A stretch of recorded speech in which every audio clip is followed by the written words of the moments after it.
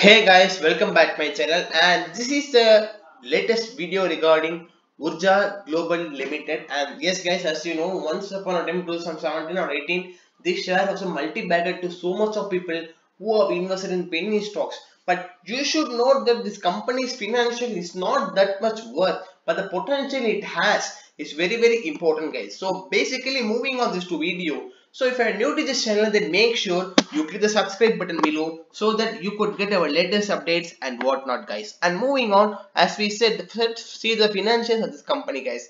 And before that now let us see the financials the annual trends we can see so that we could get a yearly view on it guys. As you can see here the revenue which has been on a constant increase as you can see here guys from 2015 116 crores now it is 129 crores. And other income also increased. So the total income is coming to 132 crores guys. And repeating again. The total income is 132 crore and the expenditure it has incurred is 130 crore and there is no interest. That means there is no payment of loan. And as you can see here the profit before depreciation and taxes 1.88 crore. And the net profit is around 1.32 crore which has been increasing from 2015 to 2019 and this share with share price of 1.65 earning a profit of around 1 1.32 crore and the EPS is also constantly increasing. But the main thing you have no I think you may have seen this and you may have think oh the company is earning 1.32 crore profit.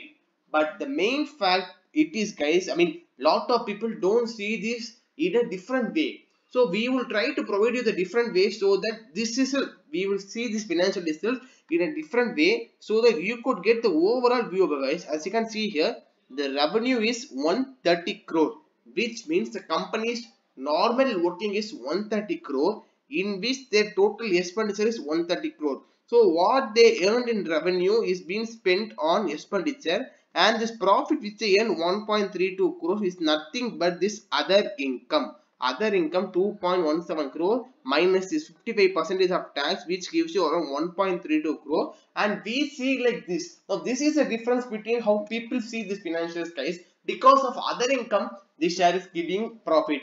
Now if you say, say to me this company is not worth at all to me this company is little bit worth guys. Because in future if this company continue like this and it has a great potential to get over as you can see here the 52 week high was 3.60 and the 52 week low is 1.46 and now the share price is 1.67 and we say this share is worth a lot because the one reason is penny stock and second thing is this company is earning profit at least in an at least in another income way guys. Instead of being a reliance uh, communication is in insolvency and 0.85 rupees negative i mean the book value is negative and the share price is 85 paise.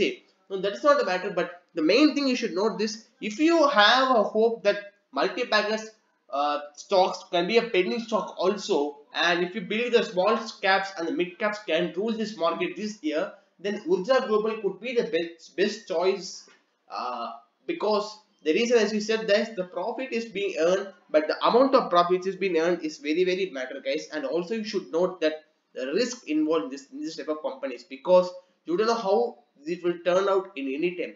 If you have chance it can go to 5 rupees.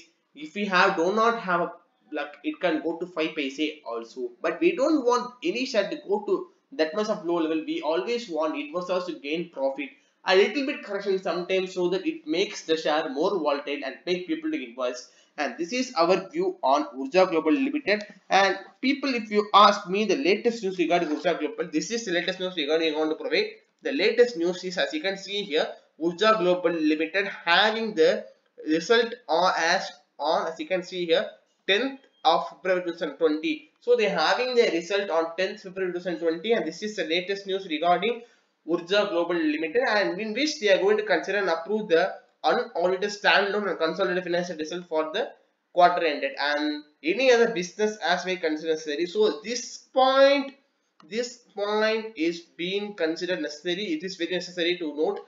And if this quarter result is positive, we can see a target of rupees 2 or 2.5 maybe in Urja Global Limited guys. And this is about Urja Global Limited. And if you like this video then why not subscribe yourself for more videos like this and see another video very soon guys. Thank you once again for seeing this video.